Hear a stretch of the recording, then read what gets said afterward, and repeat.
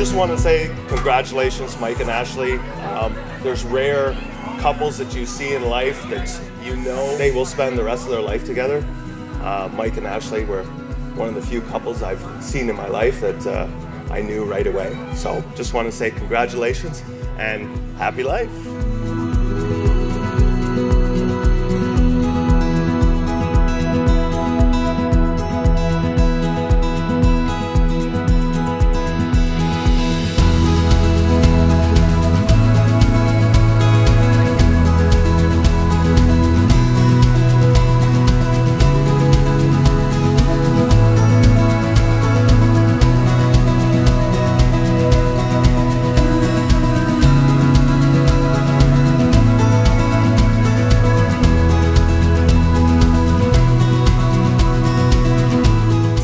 Celebration.